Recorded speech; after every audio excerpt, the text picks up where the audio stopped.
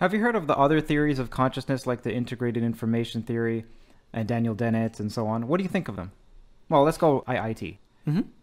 Uh, I think that IIT is uh, several things. So it starts out, if you look at the axioms of IIT, with the um, phenomenologist description of consciousness. It describes what consciousness feels like from the inside. So, for instance, you have this uh, uh impression of a here and now.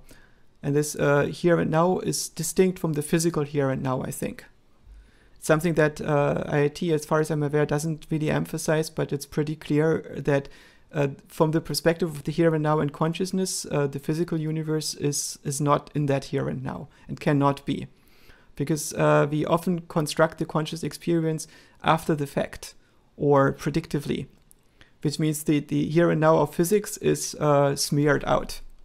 Mm-hmm. Right? And uh, we are able to experience things consciously that don't, don't happen physically.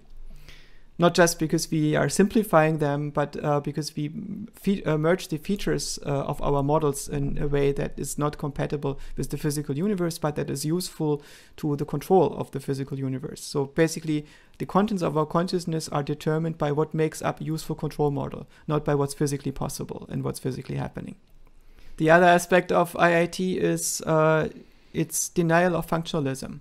So IIT, in some sense, is uh, makes metaphysical assumptions, and these metaphysical assumptions, uh, I, I, suspect, amount to panpsychism, which means that um, consciousness is, in some sense, inseparable from matter or from the background of the universe. Therefore, it must be an intrinsic property of matter itself. You could say imagine you uh, cannot determine what color is. And if you look with, with the microscope, you cannot see what color is made of, right? Color doesn't have components, so uh, color must uh, be an intrinsic part of matter. Color is not made by matter, it's inseparable from matter. Every matter contains color, right?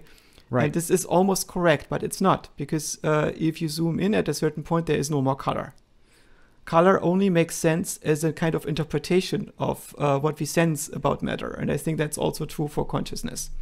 Right? It, uh, consciousness only exists within minds, not within the physical universe.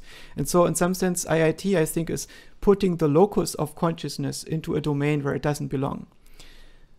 And then there are the technical aspects of the implementation of uh, uh the IIT theory, uh, IIT, that uh, is this factor phi, the measure of integration. Right, right, right. And uh, there are some good aspects about this. Uh, so, th- in the sense that uh, your own neocortex is um, integrating information in such a way that when a lot of it is synchronized uh, and is uh, stored uh, in an intentional protocol, then you will probably have a larger focus of your attentional awareness than what you have when your uh, consciousness is highly fragmented and your uh, this will be reflected in the fragmentation of the cortical contents which means that a lot of it is not firing in synchrony. And this is being described to some degree by phi. But uh, this is a relatively small aspect in, of, uh, of phi. And i think if you go deeper and try to make more out of phi then it falls apart because you it's no longer a necessary and sufficient condition. You don't know what gradual uh, states of phi mean and so on so uh, I, I don't think that I buy IIT at this point. It's not explaining how this phenomenon comes about, and it's uh, descriptive, and it uh, has uh, metaphysics that cannot be evidenced, that are not predictive.